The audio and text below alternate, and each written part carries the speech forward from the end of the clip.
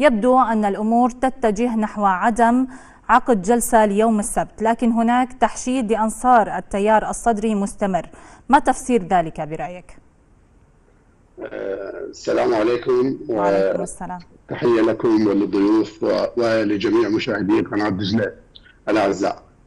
سيدتي الفاضلة بعد بسم الله الرحمن الرحيم والصلاة على محمد وآله الطاهرين أقول إن للشارع الصدري الذي خرج نعم. إلى ساحة التحرير تزامنا مع أيام عاشوراء لديه هدف كبير وهدف سامي وهو السعي باتجاه مشروع الإصلاح.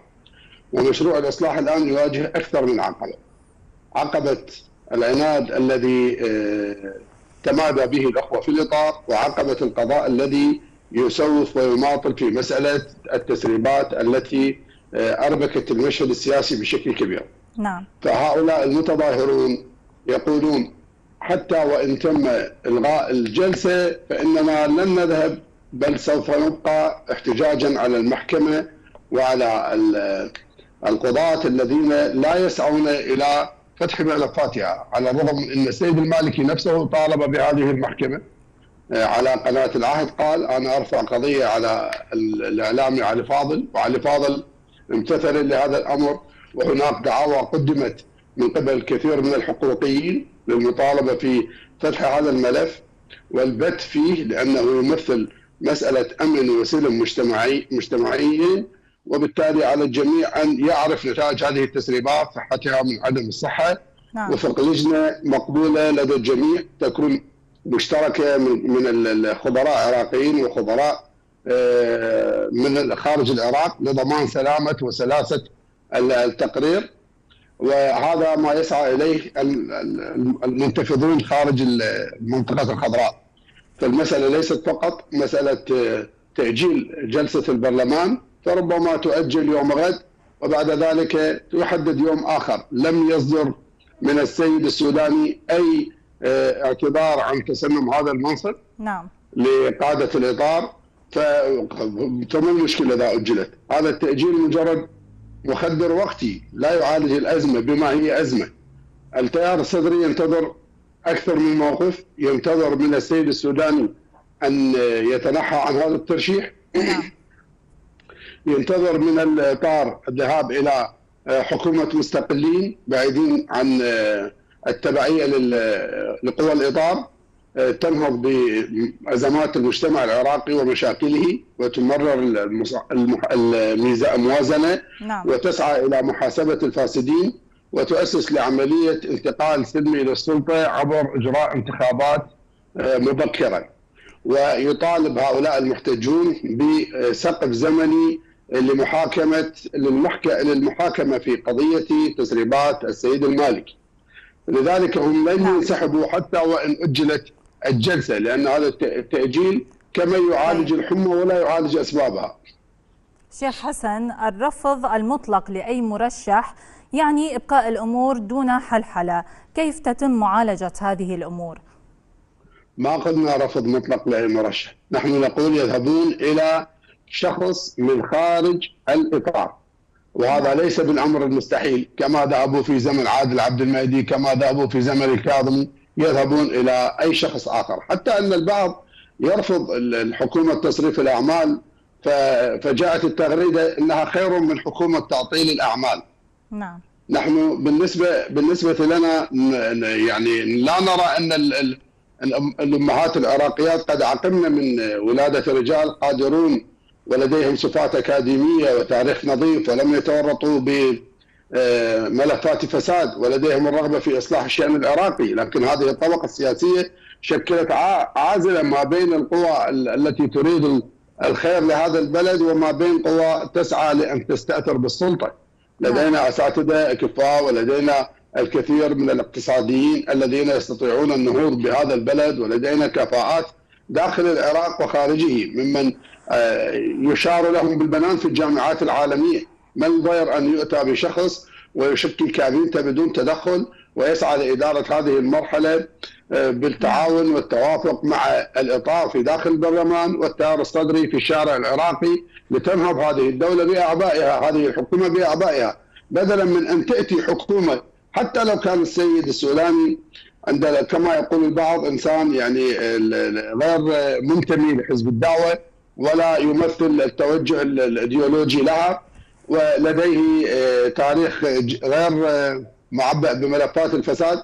نقول ما دام هناك مقاطعة ما بين مسار نعم. الإصلاح الذي يملأه الشارع العراقي الآن وما بين مسار المحاصصة فلن ينجح.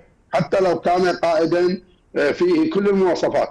لن ينجح إن لم يعتمد على الشعب ويمده الشعب بمصدر طاقة ويمده البرلمان بالتأييد والمؤازرة. عند ذلك يستطيع أن ينهض باعباء ثقيلة قد حلت بالشارع العراقي وتراكمت طيب. نتيجة هذه المحاصصة لمدة سنوات طويلة. طيب ماذا عن الخطوات التي أعلن عنها السيد الصدر بعد تظاهرات اقتحام المنطقة الخضراء وخصوصا أنه أكد على السلمية واتباع القانون؟ الخطوات أي خطوات قصدي يعني خطوات محددة لو أنت تسالينني عن خطوات لا الخطوات التي أعلن عنها السيد الصدر بعد بعد اقتحام المنطقة الخضراء حين أكد على السلمية واتباع القانون. نعم سيدتي الفاضلة التيار الصدري الآن قد شاهدناه في تظاهرتين كبيرتين جدا.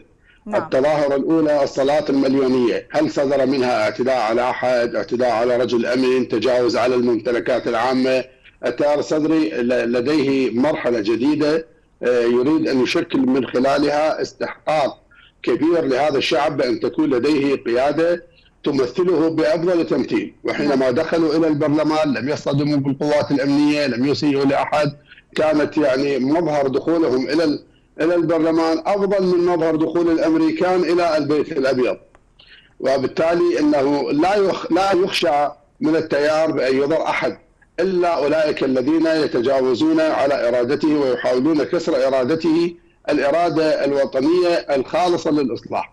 لو كانت هناك إرادة ضيقة لدى هؤلاء الشباب آه، المؤمنين الذين خرجوا إلى الشارع فإننا لن نقف بظهرهم ولن نؤيدهم بل حتى أن سماحة السيد الصدر قد أوفد خلال دخولهم الأول إلى آه، البرلمان يوم أمس أوفد آه، من سياسيي التيار ومن رجال الدين والقيادات المعروفة في التيار الصدري من يضبط إيقاع حركة هؤلاء المنتفضون ويحاول أن ينظم آه، فعالياتهم السلمية والحضارية وبالتالي انسحبوا بكل سلاسة دخلوا بسرعة سريعة وخرجوا من دون أي مشاكل تذكر. نعم. آه، طيب آه، شيخ حسن بالنسبة للانتخابات المبكرة الجديدة هل باعتقادك هي السبيل لإنهاء هذا الخلاف السياسي؟ هي ليست السبيل لإنهاء هذا الخلاف السياسي لكن الطريق يا سيدتي نحن أمام مساران مسار المحاصصة ومسار الأغلبية مسار الأغلبية حينما صار بيد التيار حاربه الآخرون وعطلوه نعم. بثلثهم المعطل التيار الصدري يقول بما أننا وصلنا إلى هذه المنطقة المغلقة خذوا المقاعد وأسسوا أنتم إلى مسألة الأغلبية أصروا على مسألة المحاصصة وصارت مقدسة لدى القوم ويريدون أن يوزعوا المكاسب والمغانم حتى يسكت الجميع ولا تتشكل لدينا آه، حالة برلمانية ناضجة تحاسب المخطئ والمفسد والغير صالح للوطن. نعم. بالتالي لا مفر من هذا الانغلاق ومن من هذا الانسداد إلا بالذهاب إلى انتخابات أخرى تفرز معسكر أغلبية يستطيع أن ينهض بهذه المهام. نعم. وإلا فاذا بقي الحال هكذا ستبقى هذه الطبقة السياسية معزولة عن الشارع العراقي وسيبقى الشارع العراقي منتفضا على هؤلاء نعم. ولن نصل إلى نتيجة والتحديات كبيرة ونحن بحاجة إلى حكومة يعازرها الشعب وإلى حكومة تمثل الشعب وإلى شعب يقف في ظهرها ويؤيدها لكي تصل به إلى بر الأمان. طيب ماذا عن السيد الحكيم حين وصف أمن العراق بالخط الأحمر وأن ما يجري من خلافات في البيت الشيعي يراد به الفتنة يعني من الذي له مصلحة في إدامة هذه الخلافات برأيك؟ يعني من خلال التسريبات التي سمعناها للسيد المالكي وقال فيها انتهى وقت السياسة ولا هذا وقت الحرب وبدأ يجيش الجيوش نعم. ويهيئ الميليشيات يبدو أن هذا هو هذا الطرف هو المعني بهذه القضية وبالتالي حينما آه، سلمهم التيار الصدري هذه المقاعد ليكون الاستحقاق الاستحقاق الاطار التنسيقي هو استحقاق مسؤولية وليس نعم. استحقاق غنيمة تشريعية كان عليهم أن يرضوا هذا الشارع الذي جعلهم الكتلة الأكبر والذي جعل لهم حرية الاختيار أن يختاروا شخصا له آه، مقبولية داخل الشارع العراقي بعيد من قيادات الإطار وتبعيتهم. خصوصا بعدما رفع السيد المالكي ما بين المزدوجين آه، نظاما جديدا حينما قال إذا لم نأخذ من الطبقة الأولى من الاطار من الإطاريين شخصا لرئاسة الوزراء نذهب إلى الخط الثاني. والخط الثاني إذا انتخبنا منه واحد